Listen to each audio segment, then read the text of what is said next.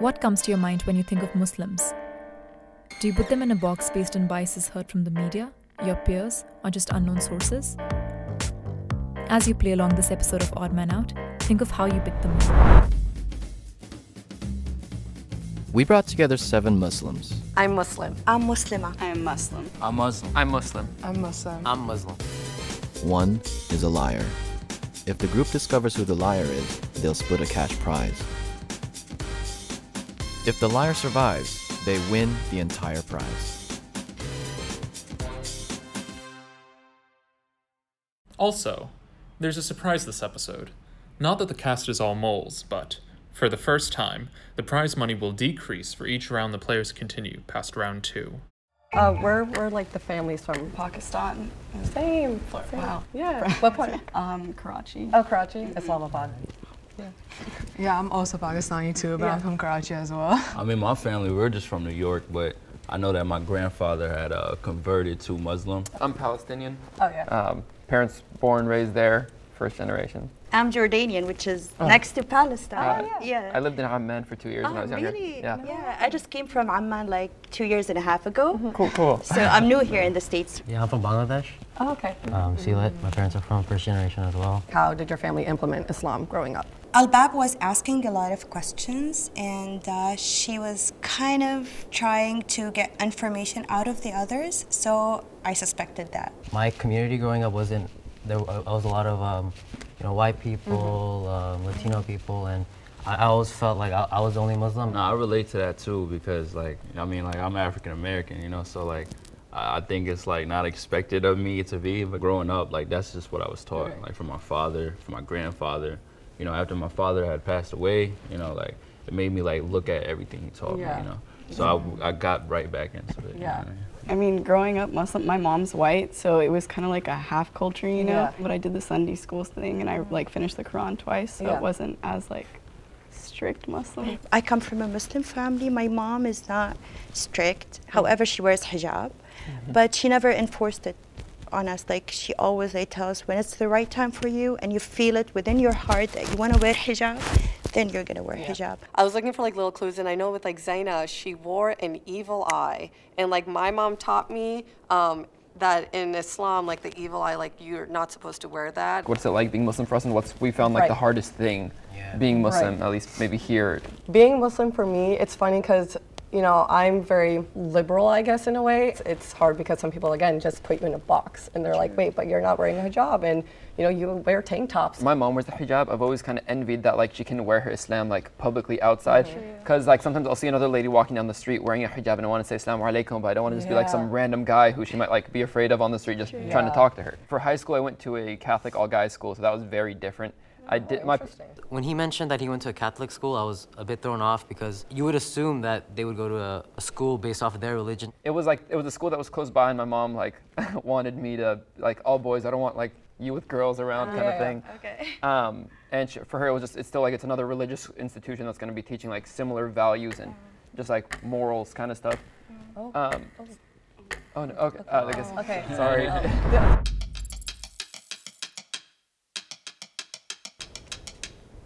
you know, she didn't get to really talk a lot. And again, she said she was like, you know, half white. Um, and so it, it seemed very obvious.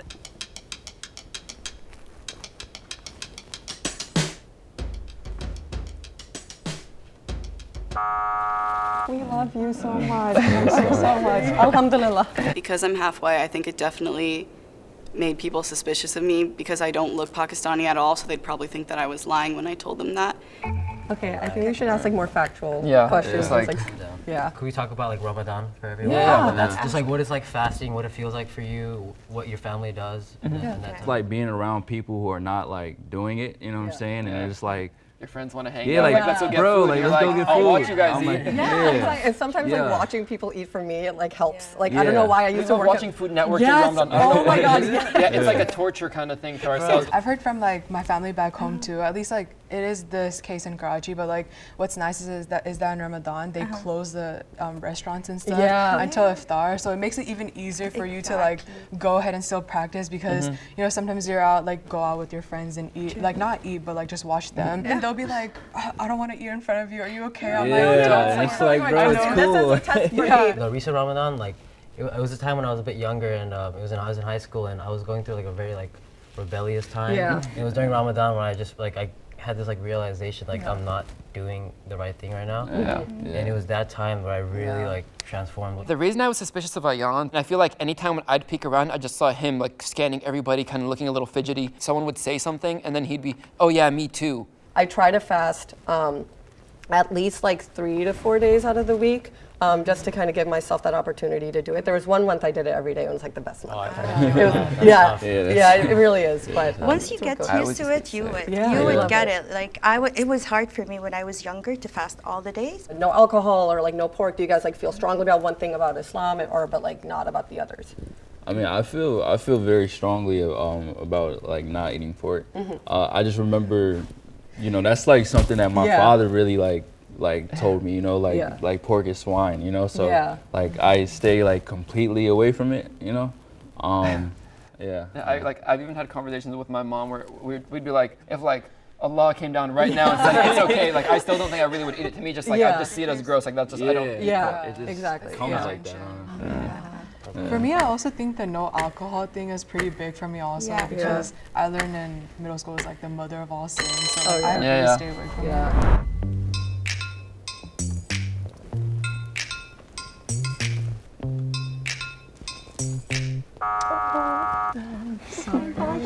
it. Yeah. If you continue past this round, the prize money will be reduced by half. I was like, dang. It felt like there was more pressure to, more pressure just to find the mole quicker, and I didn't. I feel like I wanted to get into some deeper questions. Raise your hand if you're certain that the mole is in the box and you'd like to continue the game. Let's go. Want. Might as well. Uh, like, how on a scale of one to ten, how devout do you guys think you are? Okay, for me, um, around six years ago, I had a very bad car accident, and I was almost dead. Like I, I stayed in the hospital for three months, and I have a scar in my face now, if you can see it. It was a very bad experience. However, it got me closer to Allah. Uh, a car hit us, and I had to um, go through the front window. I thank God that I'm alive, that I'm healthy, that there's nothing wrong. I'd say like I'm like a five because I don't really have anyone like that's like you know it's not like within like my family big like that you know so Yeah, yeah. the lessons that that we're taught you know what I'm saying that's I I embody those maybe not all the you know the other things that come with it you know Can we talk about an experience where you encountered someone that was speaking down on you or whatnot? Um, for me, it was maybe I think my sophomore year of high school. I got this one sweatshirt that like had an Arabic written uh, "Nasha and Yadum" and under in English "This too shall pass." And some random kid who I didn't know like skates up to me and says like, "Oh, so you're a terrorist?" I was just like taken aback. I was like, "Excuse me." I think I was like four, 15, but that was like the, the first time for me that I really per, like experienced it and was just a little like, "Whoa!" Like, where does this come from? This kid looked like he was 12. He looked younger than me. But he already has these ideas of like, oh, you're a terrorist just because you have like maybe some Arabic written on your sweatshirt. Almost every time I've gone to the airport, whether it was with my family or by myself, and any of us would be pulled to the side for a little random search. There, there is definite kind of prejudice involved in that, I believe. Uh, I, I can go. Um, it was basically in like it was in middle school, and um, we were in PE class, and a, a kid goes up to me, and because he heard my last name, Uh, and, This is and, yeah, he just like he called me he called me a terrorist, and I completely lost myself and started cursing at him. But then afterwards, I had this whole realization like that's not what I'm supposed to do.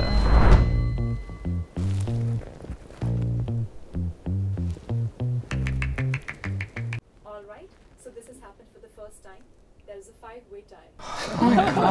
Wow. So each person will be asked one question by any other participant. Uh, why were you put into a Catholic school? Uh, honestly, it was three minutes from our house. Uh, my, my parents wanted a school that uh, would teach similar values. Are you a Muslim? What, what, Wallahi, I'm Muslim. like, what's the biggest thing to you that means that you're Muslim? So I was hijabi in high school, but then when I entered like UCLA, I took off my scarf. But I think that because of this, I actually grew closer to Islam. Would you mind listing all five prayers and like when in the day that they happen? Dang, well, I don't know why I'm on the spot right now. So uh, but sorry. you know, it's uh, it's um, crap. It's like morning. You know, I watched my dad do it a lot. You know. Uh, what was like the point that really like that turned you to you know find a Allah a bit more? I guess. Oh yeah, I mean like I was just like partying a lot, Oh, yeah. like doing a lot of like just bad things, like and um, my whole family's really religious, so I'm from Bangladesh. Like you, you won't meet a Bengali that's not was not Muslim, you know. Where, how can you be exempt from fasting? Do you know? Uh, yes, of course. Yeah. Okay. If you are uh, very sick and you are uh, under medication and it's threatening your life, you should not fast, uh, especially for elder people.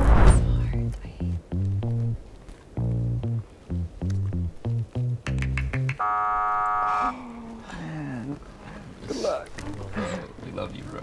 Raise your hand if you're certain that the mole is still in the box and you'd like to continue the game. Majority wins. If the lights turn red, then the mole is still in the box and you lose. If the lights turn green, it means that you eliminated the mole.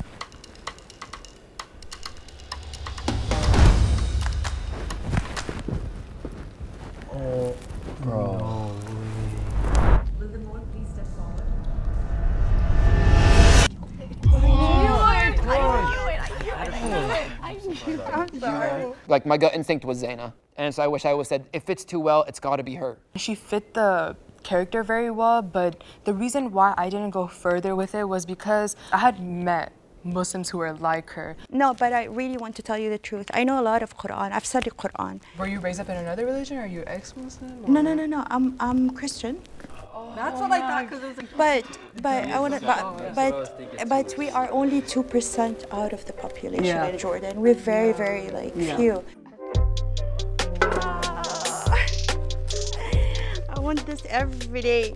I'm sorry, guys. I didn't. It was kind of I felt bad because they're all nice because I know I'm a liar, and they're all super sweet. You know, I'm I'm not as knowledgeable, and I'm I'm not. I have tattoos. You know, I don't follow necessarily the guidelines. I'm not strict with it. You know, I just know that it's a personal relationship. We all have our own like ways we practice and we understand that just because somebody practices it a little bit less or a little bit more doesn't make them any more of a Muslim than the other person. Hi, my name is Ragini Bhasin and I directed this episode of Odd Man Out. And if you'd like to play along in the next episode, you can go to our Instagram page and vote for who you think the mole is.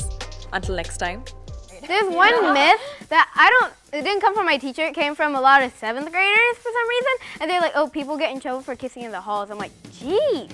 I am a middle schooler. I'm a middle schooler. I am a middle schooler. I'm a middle schooler. I'm a middle schooler. I'm a middle schooler. I'm a middle schooler. One is a fifth grader.